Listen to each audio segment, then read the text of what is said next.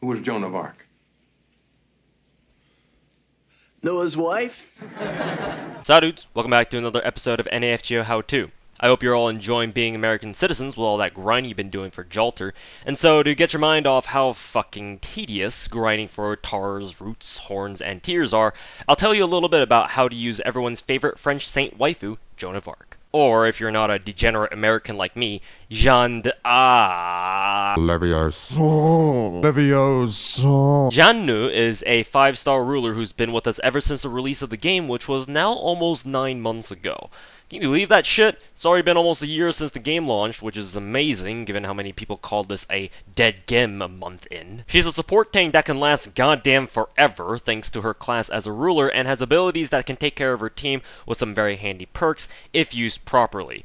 Truly the French waifu everyone would love to have. Well, except not this fucking idiot.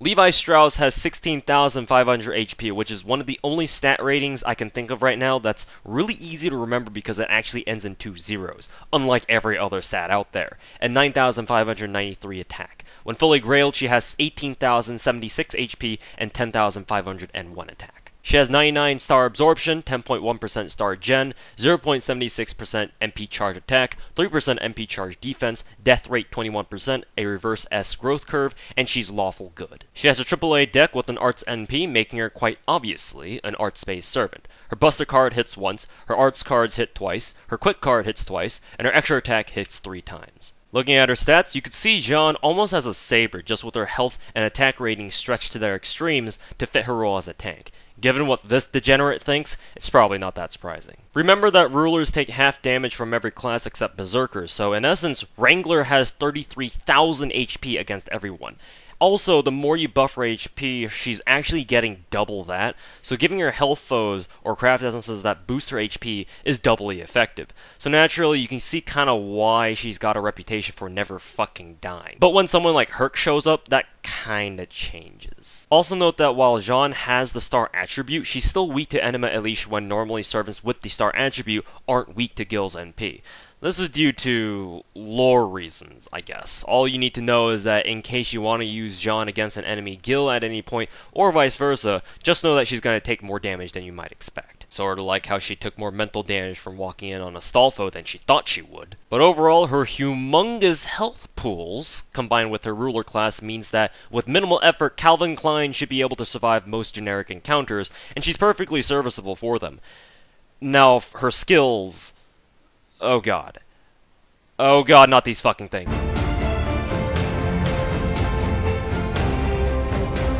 Gold Sign's first skill is Revelation A, which generates 3 to 9 crit stars every turn for 3 turns on an 8 to 6 turn cooldown, depending on level. This skill is almost the same as Instinct in terms of how bad it is, and you all know how much I love the shit on Instinct as a skill in this game.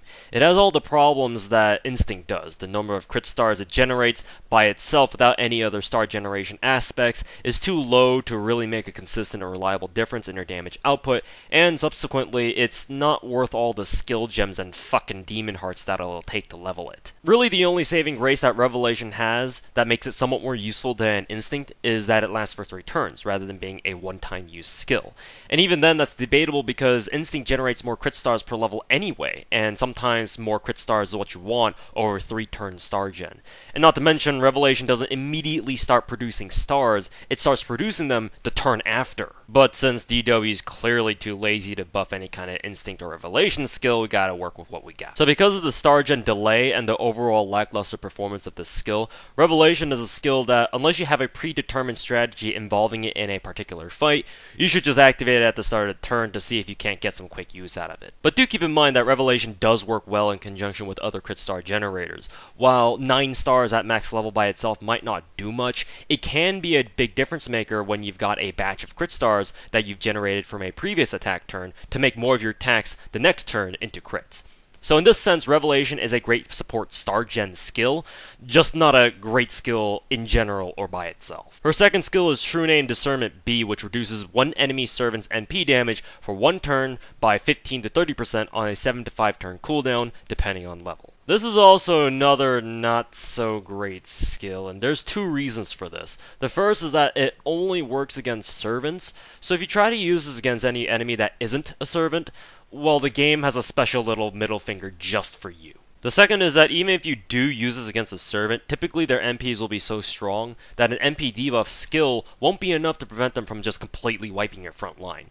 Well, maybe Jeanne herself might be able to survive it, but chances are you're not doing a Jeanne solo run. Oh, and the skill is also a debuff, so there's always a chance of the game giving you another special little middle finger. So just like Revelation before, True Name Discernment only works well in conjunction with other attack or NP damage debuff skills so that its effectiveness can be put to maximum use. Pairing it with something like Amputate Everything Ladies, MP will actually go a long way to reducing an enemy servant's NP damage. Her third skill is God's Resolution A, which has a 70 to 120% chance to stun an enemy servant for one turn on an 8 to 6 turn cooldown. Once again, the whole only applicable against enemy servants thing applies here, which severely limits its use. And since this is also a debuff, it always has the chance to miss unless you get it leveled high enough to the point where it almost never will, which is nice, similar to Tammo's or Vlad's NP drain skills. That's why the stun chance goes up so high to 120% at max rank to ensure that John will almost never miss a stun on an enemy servant if you have it leveled enough. Her only passive skill is Magic Resistance EX, which increases her own debuff resistance by 25%, which is actually quite a lot since that means that she's always got a quarter chance to negate incoming enemy debuffs. Unless you have a Jalter with her, that is. But as much as I shit on these skills, which may be underwhelming at first glance, admittedly, together they actually make John a potent anti-servant boss servant, if that makes any sense.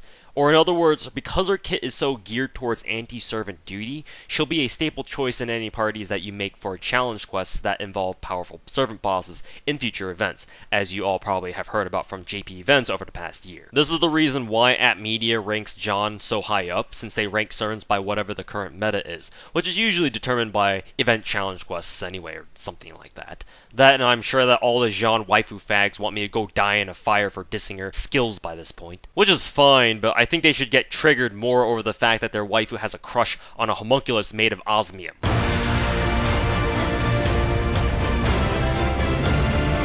True Religion's noble phantasm is Luminos de Eterne, which I probably mispronounced because it's a well known fact that Americans can't pronounce French. It's an arts NP that grants party invul for one turn and increases party defense by 5 to 25% for 3 turns, depending on NP level.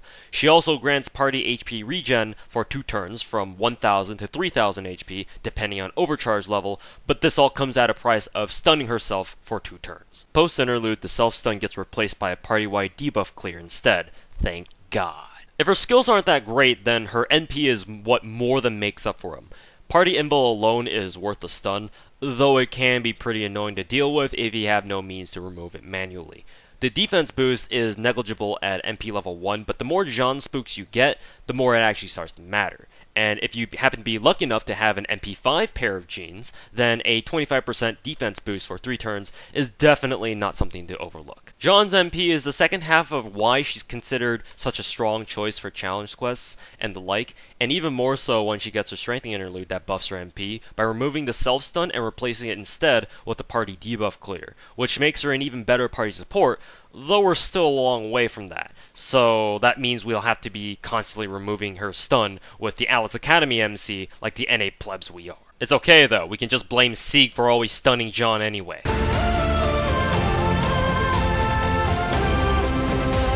Even if her skills aren't very useful for general battles, For All Mankind makes up for them with the sheer utility of her NP. This puts her in a ubiquitous position where you can take her anywhere with any team composition that you like, and as long as you don't make dumb decisions in battle or send her against strong berserkers, she'll take care of everything just fine. This is why you oftentimes hear people call her a very new friendly starting SSR, just because of how much you don't need to worry about ordinary shit in the game when you're first starting out. But even with that in mind, there are specialized strats that you can use with your own Baguette Saint. Jean is an arts servant, so naturally she fits perfectly into an arts team, and you can create the No One Fucking Dies team with herself, Tammo, and Medea Lily, and stall everyone out to hell and back, or I guess in this case, heaven and back, God forbid. Jean is also, ironically enough, great when paired with Berserkers because her MP can help protect and heal them, and her Bondcraft Essence, for whatever reason, is a 15% party buster buff, which is strange given her command deck, but whatever, I guess. Well, on paper anyway. The problem you'll have with that strat is trying to charge Jean's NP, and if you have two Berserkers with her, you'll likely have a rough time doing that. So maybe only give her one Berserker to take care of. Makes enough sense to me, considering the fact that she can't even handle a kid who's got the same personality as a fucking potato. Finally, needless to say, she's perhaps the best raw tank in the game with a huge health pool and her ruler class, so implementing strategies that involve her holding taunt CEs to buy your team time to set themselves up in a more challenging fight is always worth considering.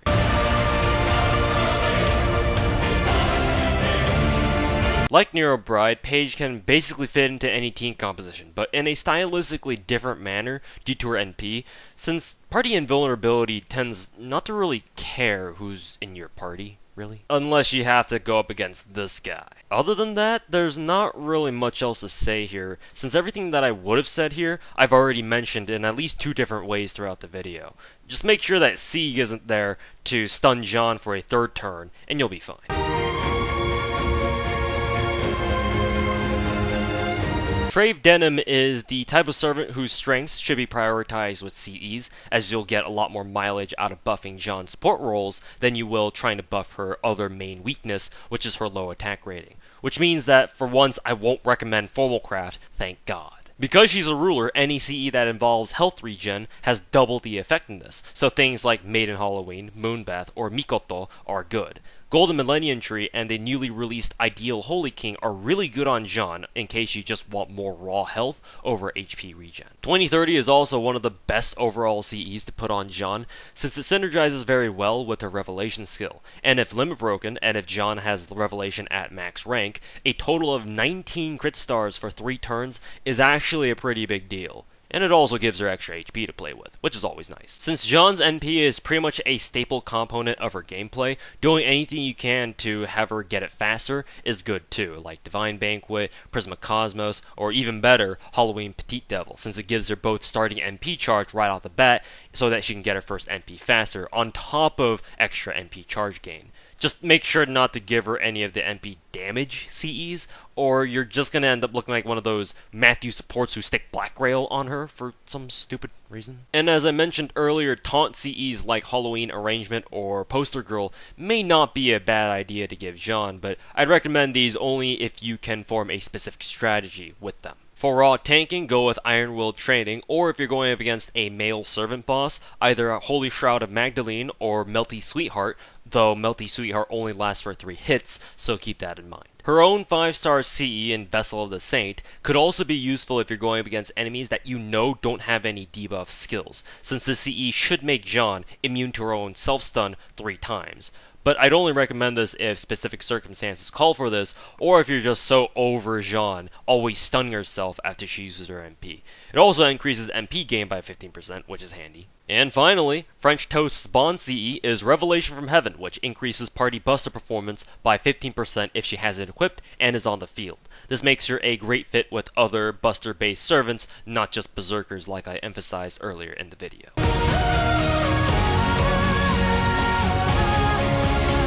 So in conclusion, Jeanne d'Arc is a very versatile ruler servant whom you can put with anyone or anywhere, and if you invest in her enough, she'll become one of your staple challenge quest servants where a berserker or adventure boss isn't involved. Until her next time, she should try to grab someone's body who isn't such a fan of french fries. And that's all you need to know about Breyer's ice cream. This time there will not be a Twitter poll because the next meme everyone will want me to make is French Vanilla's edgy little twin sister, Dark Chocolate. And just know that I probably won't get around to making that until after Jalter's event is over, and I think you should already know why. So in the meantime, while Aniplex continues to delay Jalter's event into oblivion, go watch Morty's video that I should have posted at the same time as this one, since the Twitter poll that I had last time was split between Mordred and John, and I didn't feel like making a tiebreaker poll. And remember to meme on as always. Thanks for watching, and I'll see you all on the other side of the second Exodus.